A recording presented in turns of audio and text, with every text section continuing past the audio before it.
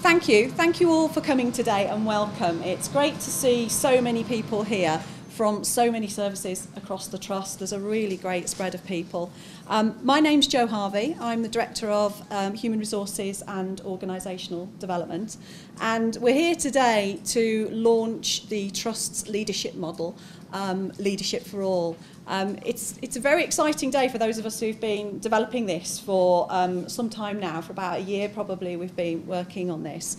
Um, and I'd like to say thank you at this point to all the people in the working group who have been um, contributing to getting us to this point today.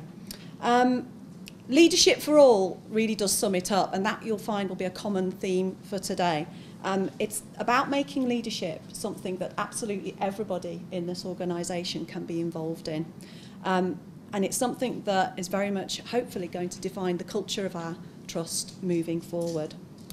So the plan for today is um, we will start, a uh, couple more things from me, and then we'll start with um, some words from Karen Howell, our Chief Executive, It's great to have Karen here. I know she can't be here for the whole of the event, but she's going to be here for as much of it as she can.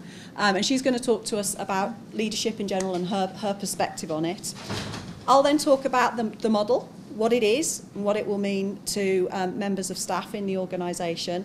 And then we're going to hear three stories from individuals from our organisation from different areas, different roles, um, who are going to tell us their experience of leadership, where they've been on a leadership journey of their own, had some leadership development, and what the impact has been on them as individuals and on their roles.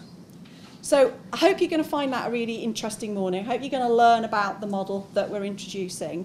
Um, I'm going to start us off with um, a quick video which will just sort of set the scene a little bit for what the model is all about.